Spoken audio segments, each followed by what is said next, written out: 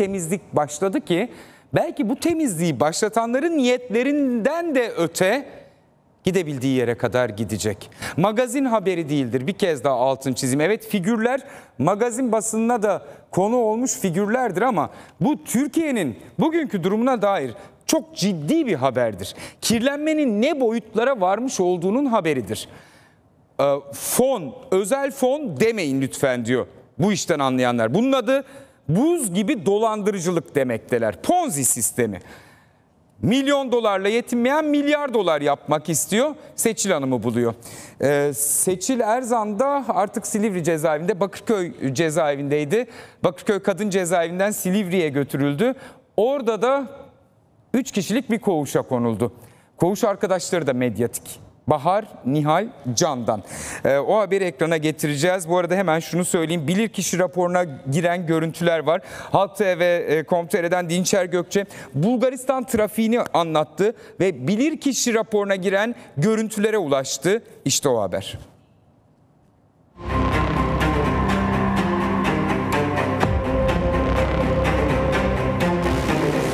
Seçil Erzan Emre Belezoğlu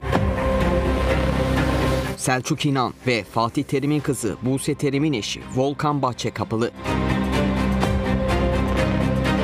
Seçil Erzan'ın odasına giriş çıkışları fona para kaptıranlar kamerada, görüntüler bilirkişi raporunda. Ancak bazı görüntüler kayıp.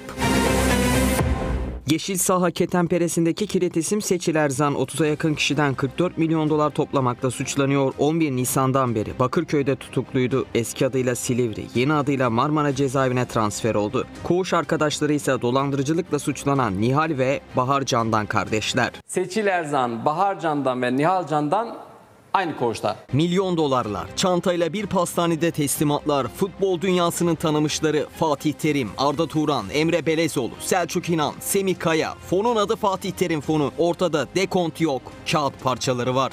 Biz her yerde aynıyız. Kimseden bir korkumuz, bir çekincemiz yok. Herkes bunu bilsin. Arda abi de e, e, vaka vaka e, e. Arda abi de Arda abi.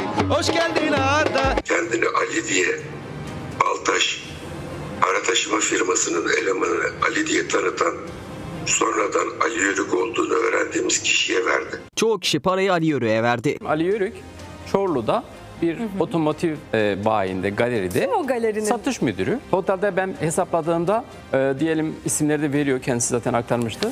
Bir 8-10 milyon dolar fazla bir para birilerine aktarılmış. Kayıp milyon dolarlara ne oldu? Çark nasıl işledi? Halk TV.com.tr sorumlu yazı işleri müdürü Dinçer Gökçe sistemi anlattı. İsmi geçenlerin Bulgaristan trafiğine dikkat çekti. Adem Adem Aksana bu, bu e, kişilerin akrabası. e, Yine bir akraba Bir- yakın. o çevreden. Bir de Yuri Yankov ve Hüseyin Kurtuluş aynı kişi bunlar. Evet, evet, E, Çifte vatandaş. Ali Yörük son 4 yılda 86 kez Bulgaristan'a gidiyor. En son 4 Mart eşi ve oğlu ile gidiyor. Kardeş Atilla Yörük 43 kez gitti ve Bulgar vatandaşlığı bulunan Hüseyin Kurtuluş 2018-2019 arası 79 giriş 91 çıkış kaydı var. Çarkta ismi geçenlerden Nur Erkasap. Davada ne müşteki ne de sanık konumunda dosyada Seçil Erzan'la ortak hareket ettiğine dair iddia var. Erkasap'ın hesabına gelen paralar Seçil Erzan'ın hesabına transfer ediliyor. sistemin aracısı konumunda ve Mert Zeydanlı'ya bir senet veriliyor.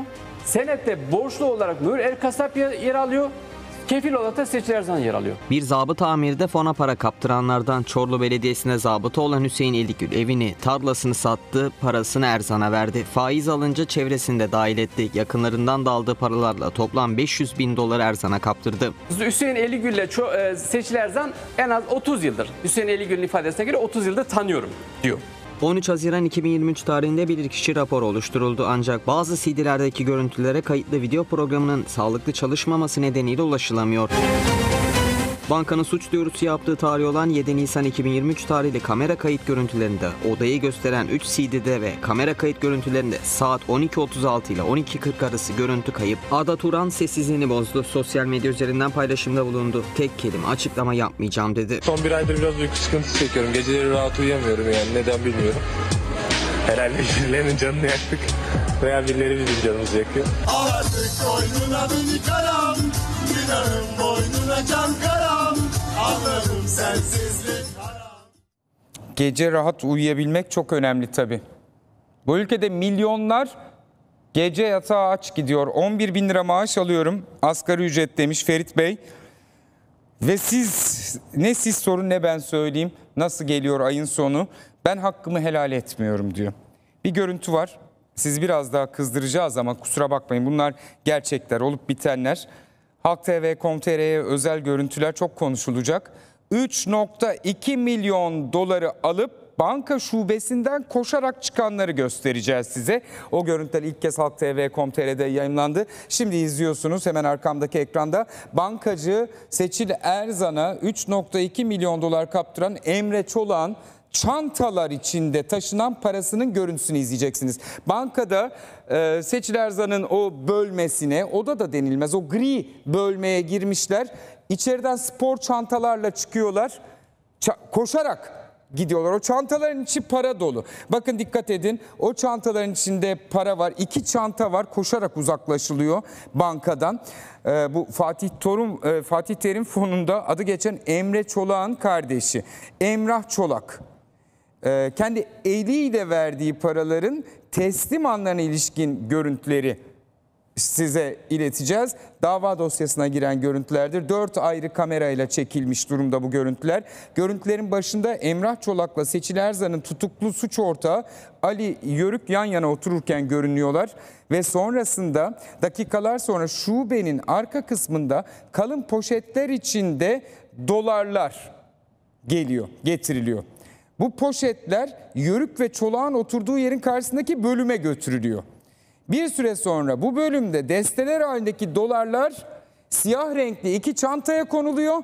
O çantalarla işte bu çantalar o çantalarla bankadan bir suçlunun telaşıyla koşarak uzaklaşıyorlar. Dakikalar sonra Ali Yörük ve Emrah Çolak gişelerin önünde görülüyor. İkili tokalaştıktan sonra Yörük dolar dolu iki çantayla şubeden çıkıyor.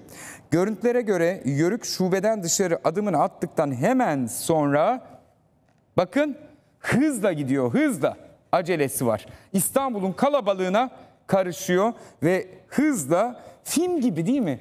Film değil gerçek. Her yer kamera. Bankada güvenlik kameraları var. Bankanın önünde var. Sokakta var. O valizlerin içinde ne olduğu, o çantaların, spor çantaların içinde ne olduğu çok belli. Şunu düşündüğünüzü çok iyi biliyorum. Biz o bankalara girdiğimizde emekli maaşımız, işte çalıştığımıza dair belge, e, iki kefil, e, memur kefil hepsini sayarak bir ihtiyaç kredisi almaya gittiğimiz anda o odaya girmek için dahi dakikalarca dışarıda bekletilerek red yanıtı alırken işte bu çantalar dolusu paralarla kayıplara karışıyorlar. Hani kimine de kötü örnek oluyor belki de. Ee, hani ben de yapabilirim hissi uyanıyorsa insanda işte az evvel Arda söylüyordu ya yastığa başını koyduğunda rahat yatabilmek önemli diye o anları düşünsünler. Ben kimin parasıyla bu hayatı yaşıyorum? Bu para benim hakkım mı? Değil mi? Acaba tüyü bitmemiş yetimin hakkı var mı bu parada diye düşünmezler mi? Muhtemelen şöyle içlerini rahatlatıyorlar. Benden çok daha fazlasını hak etmediği halde alanlar var. O halde ben niye almayayım diye düşünüyorlar belki de.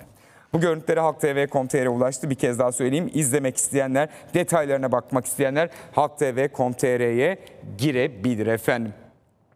Başarılı gazeteciler sayesinde bazı gerçekler ortaya çıkıyor. Bazıları ortaya çıkmasın isteniyor ama hiçbir şey de sonsuza kadar gizli kalmıyor. Şimdi bu haberleri ekrana getirince acaba bir takıma yönelik mi yapılıyor bu operasyon? İşte e, niye adına Fatih Terim fonu diyorsunuz?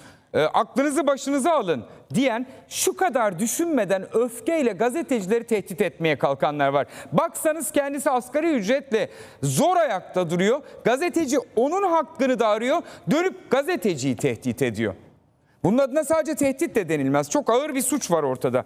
Dün bülteni kapatırken göstermiştim. Murat Ağrel'in 12 yaşındaki kızını, eşini, ailesini tehdit ediyorlar. O tehditler, hakaretler elbette